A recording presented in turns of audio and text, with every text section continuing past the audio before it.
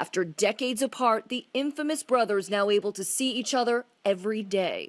The only, the only help you can give them is prayer. I don't think it was a crime. It is a crime by, by um, statement, but they killed from fear. They felt that they would be killed if they didn't kill. That's my own personal opinion. I think that they were just panicking. And it, they just, that was the only, because I do know that after they killed them, both sat down and cried. They cried for hours.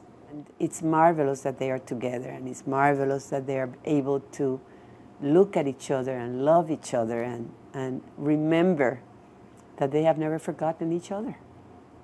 Because when you don't have a some your body somebody with you, you wonder, do they remember me?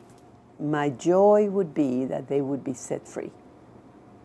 That they would be able to be human beings on a normal basis and not behind bars.